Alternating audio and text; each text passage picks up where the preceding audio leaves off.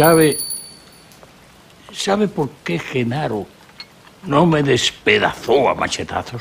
Ah, porque los cubanos no teníamos armas, abuelo. Hombre, hable con propiedad. Usted es un calatayud. Genaro no me mató por el baile.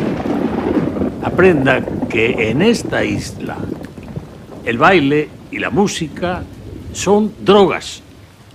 Úselas con inteligencia. ¿eh? Eso. Eso.